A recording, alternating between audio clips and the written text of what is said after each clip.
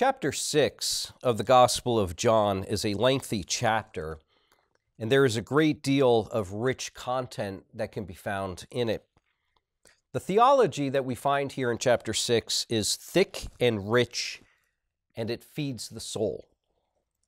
There are two signs and then a teaching discourse in chapter 6.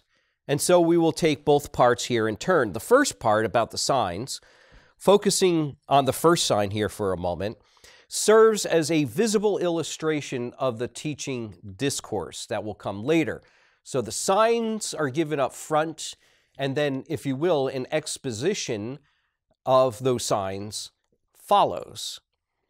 The illustration, the signs, however, have both a positive and a negative side to them. That is to say, positively, the sign here, now focusing on the first sign, the sign of Jesus feeding the multitude serves as an illustration. It's an illustration, it's a sign of his saving work as him who is the bread of life. Negatively, as elsewhere, he uses the earthly bread as a contrast to the heavenly bread. So the earthly bread that he gives to feed the multitude is not the ultimate bread that the multitude ought to crave. Rather, the multitude ought to crave the heavenly bread, such that his hearers are exhorted to not seek the former, namely the earthly bread, but rather to seek the latter, the heavenly bread. The second part is a didactic discourse. Now, there's a lot here, more than we can possibly cover in any extensive detail in the course of this particular lecture. But our focus here will be upon particularly Jesus as he reveals himself as the bread of life. Our focus will be upon here Jesus as he reveals himself as the bread of life. Here again, the heavenly and earthly are contrasted. Jesus proclaims himself as the true bread. And remember what that word true means it means from heaven. He is the true bread that comes down from heaven. So, first, the signs that illustrate the person and work of Jesus. For our purposes here, our primary emphasis will be upon the feeding of the 5,000 in verses 1 through 15, though certainly not to the exclusion of the sign that Jesus performs when he walks on the sea, verses 16 through 21. And in fact, our first observation does include both of those stories. So here's the first observation about both of those stories. There is one thing that should be noted about both stories, particularly as emphasis is given in these stories upon the grassy mountain on the one hand and the still sea on the other. Now, there are some features of these two accounts that bring to mind Psalm 23. The detail in verse 10 about there being much grass and then later on, about the calming of the sea, gives us the hint here that we ought to be thinking of Psalm 23. In these two signs, the feeding of the multitude and the walking on the calm sea, Jesus shows himself to be the good shepherd of his people.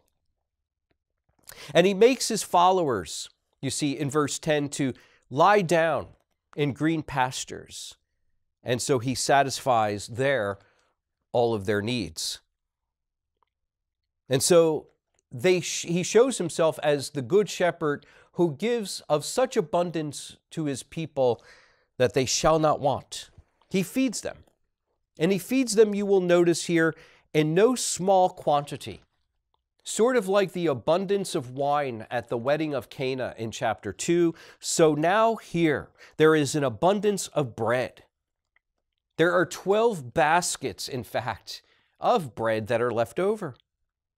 Indeed, he has prepared a table for his sheep, and their cup does overflow. But here is also the calming of the waters. After he feeds his disciples and the crowds to such an extent that they have no want.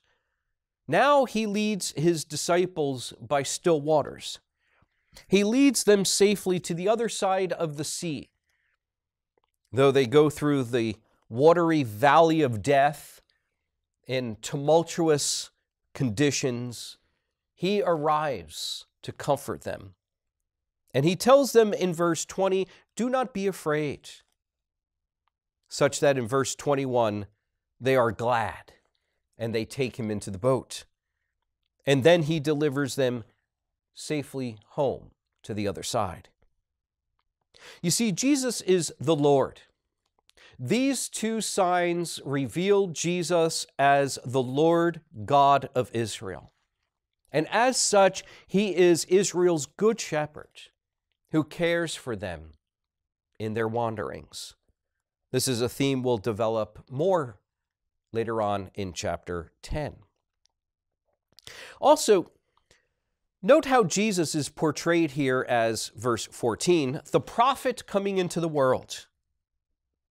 This is possibly a reference to the prophet that is like unto Moses prophesied in Deuteronomy 18:15.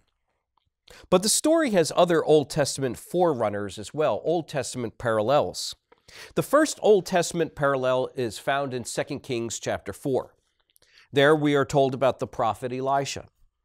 And he performs many signs, including multiplying oil for the widow, verses 1 through 7 of 2 Kings 4. Elisha also multiplies the grain and the barley loaves, verses 42 to 44 in 2 Kings 4. So the theme of multiplication and the multiplication of sustenance is clear here in 2 Kings 4. So that now the connection that we ought to begin to see here becomes at once clear. Jesus, like Elisha, provides a table feast for his sheep, and his people shall not want as he comes as the prophet into the world. The second Old Testament parallel has in view the abundance of the meal. And here I'm thinking of Isaiah chapter 25, verses 6 and following, Isaiah chapter 49, verses 9 and following. In this way, the, the signs that Jesus performs parallels, as we indicated earlier, also the miracle at Cana. Together, the miracle at Cana and the miracle on the grassy mountain harken back to the witness of Isaiah, particularly as Isaiah is relaying to us a vision of the future. And the vision of a future that is characterized by the abundance of bread and wine. We indicated this already in a previous lesson. But in Isaiah 25, just to refresh our memory, Isaiah 25, verse 6, it says this On this mountain, notice the mountain that is referred to here, on this mountain, the Lord of hosts will make for all peoples a feast of rich food, a feast of well aged wine of rich food full of marrow, of aged wine, well refined. And then later on, he goes on in the prophecy of Isaiah chapter 49, where it says this Thus says the Lord, in a time of favor I have answered you, in a day of salvation I have helped you. I will keep you and give you as a covenant people to establish the land, to approbation of the desolate heritages saying to the prisoners, Come out, to those who are in darkness, appear. They shall feed along the ways. On all bare heights shall be their pasture. They shall not hunger or thirst, neither scorching wind nor sun shall strike them. For he who has pity on them will lead them, and by springs of water will guide them. In Isaiah 49, we are introduced to the servant of the Lord. In verse 8, we see it speaks of the coming restoration of Israel. Presumably, this restoration will be accomplished by the suffering servant. And in this restoration, verse 9, the prisoner will be set free. Those in darkness, we are told, will see a great light. And like sheep, we are told, they will feed during their sojourning. Even on the heights of a mountain, there will be pasture for them. And so they will neither hunger nor thirst, verse 10 of Isaiah's prophecy, chapter 49, and they will be guided by springs of water. The parallels here in Isaiah to Psalm 23 are, in fact, noteworthy. For the servant of the Lord is identified here with Israel's good shepherd. Third, the Old Testament parallel that is found in Exodus and the desert wanderings. Now, this too is not dis- disconnected from Psalm 23. Some scholars have noted that Psalm 23 is a sojourner's psalm. It tells of God's shepherding care for his people as he leads them from the harsh realities of wilderness life into a verdant land of milk and honey. Be that as it may, what is clear here is the way that the Lord feeds his people. He gives them everything that they need. Even when they have nothing themselves. He cares for them, He ministers to them. Though they are in a barren land, the Lord sustains them with supernaturally provided bread from heaven. Now, this theme we will develop as we look at the didactic section. And so let's go ahead and move there now to the didactic discourse that is found in verses 22 to 59. Having established the meaning and the significance in the Old Testament background of the signs that he performs in the first part of chapter 6. Here now we move to the second part of chapter 6 as Jesus expounds the meaning and the significance of the signs that he just performed. So the discourse proper really begins, though, at verse 35. But the dialogue preceding the bread of life discourse is exceedingly important for setting the stage. The disciples are, are seeking Jesus as he has gone to Capernaum, and Jesus issues a rebuke to them. Why does he issue a rebuke? For, for seeking him for all the wrong reasons. Now, of course, this is nothing that, orig- that is new or original to the disciples. People have been trying to seek Jesus for all the wrong reasons ever since and even before. Why are they why are they seeking him? Verse 26 makes clear they seek him for the free bread. They are to to move then their searching, Jesus says, from seeking perishable bread to that bread which gives eternal life, verse 27. This is given and received. This bread is given and it is received by faith in him who was sent from God, verse 29. Then they will ask him for a sign, verse 30, which is kind of crazy if you think about it, that they would ask for a sign because he's just given them a sign. They then talk about how, how the fathers ate bread from Moses, verse 31.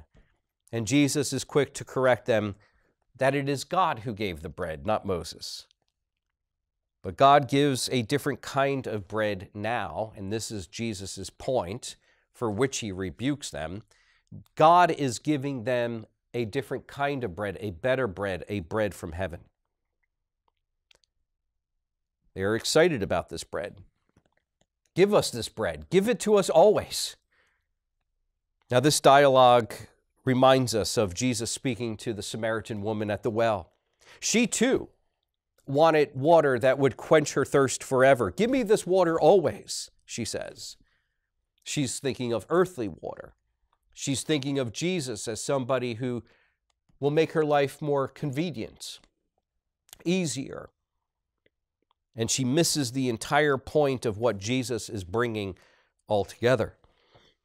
She misses the point of what Jesus is communicating to her just as here the disciples are missing the point of what Jesus is communicating to them, namely, that the water that he brings, that the bread that he offers, is water and bread that leads to eternal life, not to the sustenance of mere temporal life. And so that brings us to verse 35, which really does begin the bread of life discourse proper. The disciples don't seem to be picking up on what Jesus has been saying. This idea of slowness to understand is a theme throughout the Gospel of John, and frankly, it's a theme throughout the Synoptic Gospels as well, the way in which the disciples are slow to understand. We saw it before with Nicodemus. He didn't get the heavenly meaning of what Jesus was saying about being born again. The woman at the well is slow to understand the heavenly nature of the water.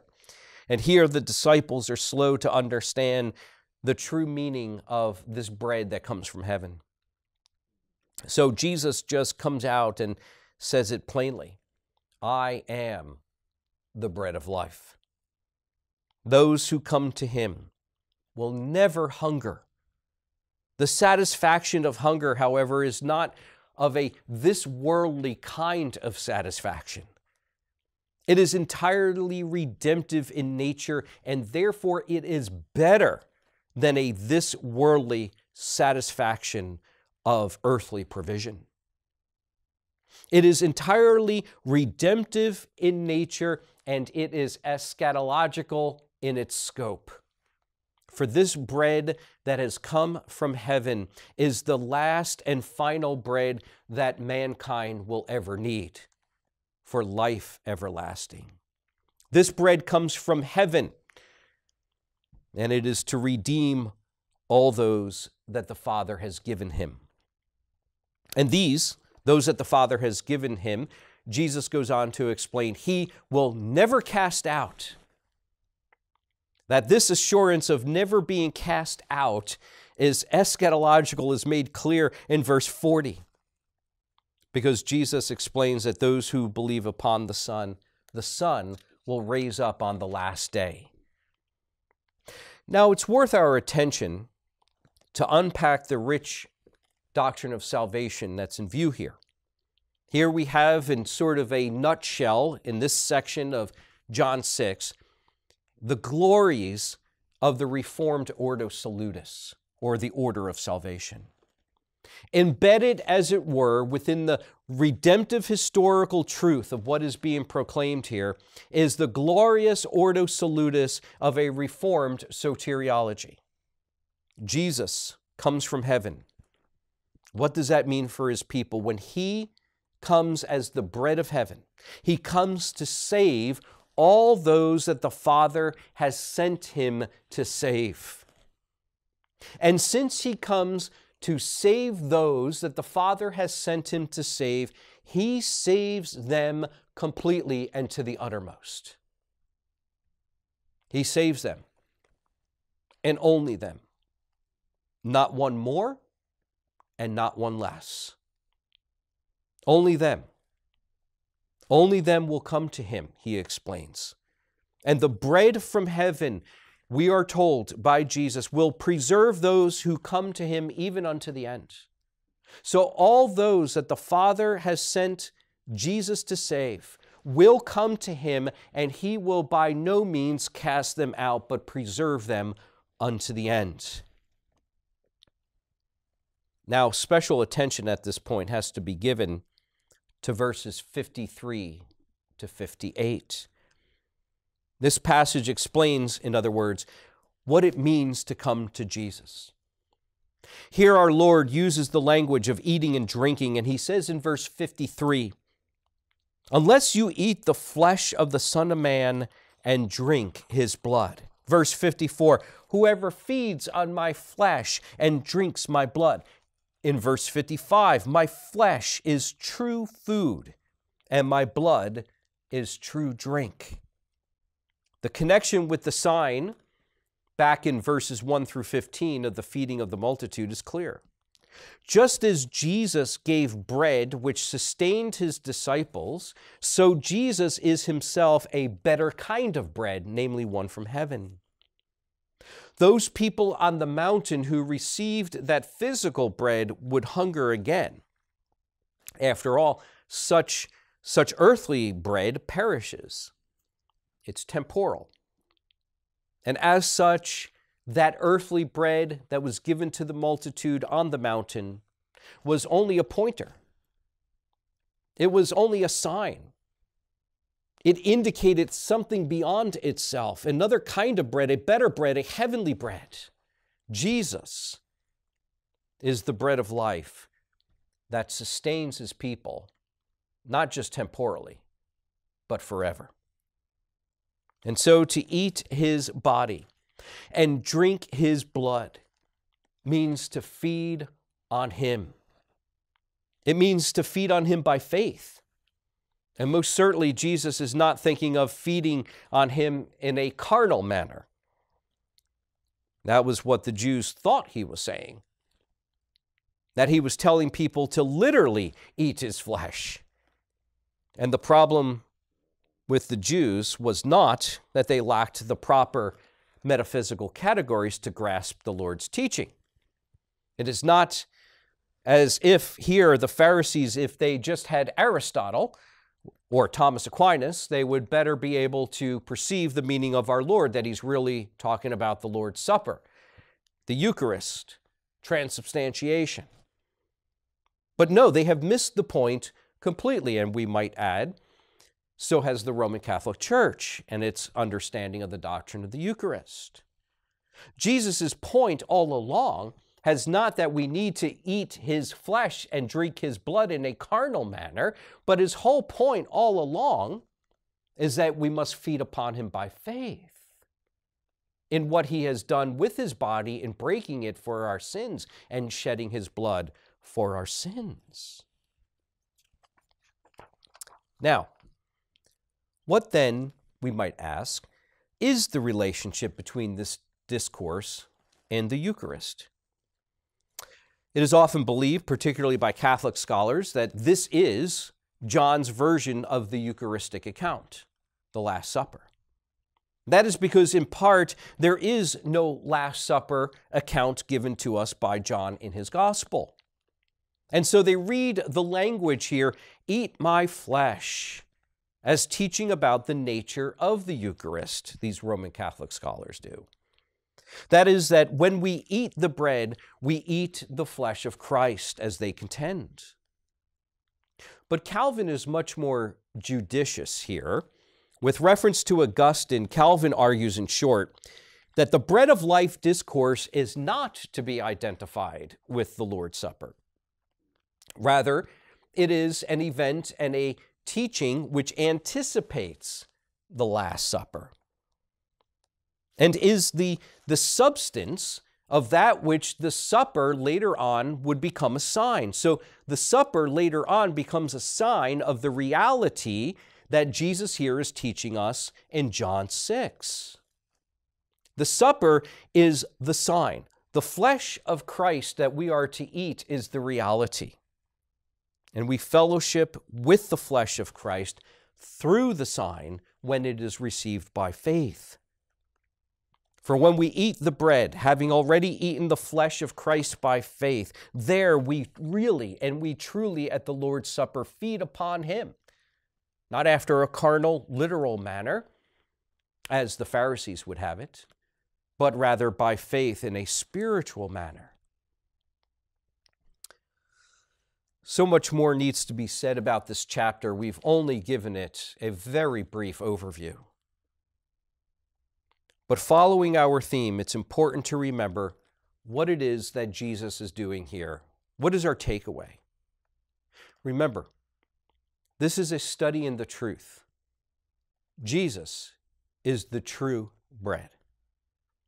Not that the other bread that he fed the multitude with was false bread, no, but the multitude fed upon bread which points to the true bread that comes from heaven and feeds us abundantly unto eternal life. Now, this is no Neoplatonic form versus matter thing that's going on here. Jesus, the true bread from heaven, is a redemptive historical reality. Jesus, the true bread from heaven, is indicative of eschatological sustenance. For Jesus brings us to the place from whence he came, even our eternal heavenly rest. In this way, Jesus is the eschatological bread of life. And finally, as we end this lesson, a word of edification. In seasons of doubt, be assured and revisit this passage time and again. There is no more comforting passage in seasons of doubt than this one. For this passage teaches you that your salvation has been secured by Him who is the bread of life, if indeed you have eaten of His body and you have drunk of His blood by faith. Because all who come to Him have been redeemed by His body and blood. And those are the ones that the Father has given Him from eternity past. These are the ones.